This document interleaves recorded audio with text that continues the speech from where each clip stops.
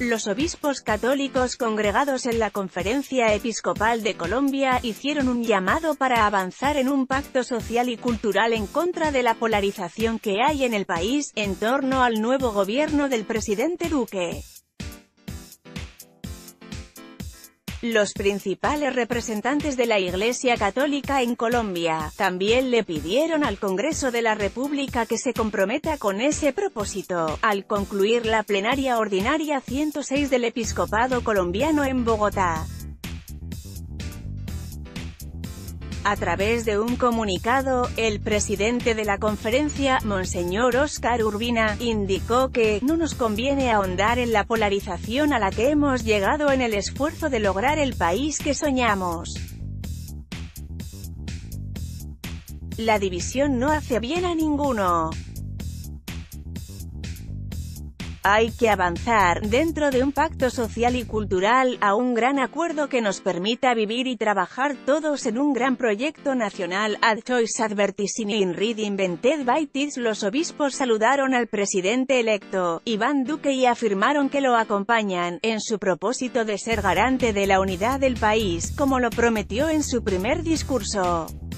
Pedimos al Congreso de la República que se comprometa con este cometido. A los partidos y diversas agrupaciones sociales y políticas los invitamos para que, con responsabilidad, luchen también por este ideal.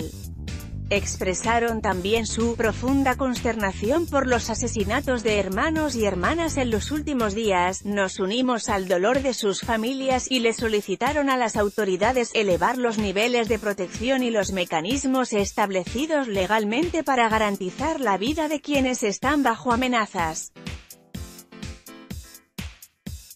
La Iglesia Católica convocó a la sociedad colombiana a mantener la estabilidad de las regiones y de la democracia e hicieron un llamado al pueblo colombiano, a soñar de nuevo nuestra convivencia y a empeñarnos seriamente en el bien común.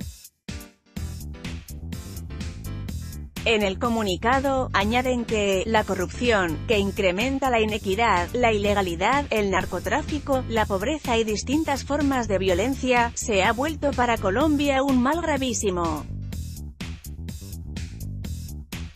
Los obispos advirtieron que la única forma para que la corrupción ceda en Colombia, es necesario rescatar la ética en la vida personal, la familia, la escuela, la academia y la sociedad en general. Debemos conocer y acoger las iniciativas que se juzguen válidas en el país para combatir este flagelo, rechazar este tipo de prácticas corruptas y cultivar una cultura de la honestidad y la transparencia. Finalmente, la Iglesia reiteró la convocatoria a seguir trabajando por la paz.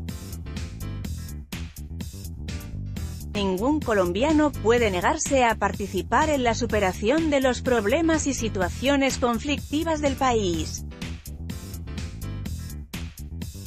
Invitamos a no dejar a mitad de camino el esfuerzo que el país ha realizado por la paz y la reconciliación, que requiere nuevos aportes y nuevos horizontes, pero sobre todo el ánimo y compromiso de todos para que finalmente la paz sea una realidad. Fuente Sistema Integrado de Información Temas Iglesia Católica Conferencia Episcopal de Colombia Iván Duque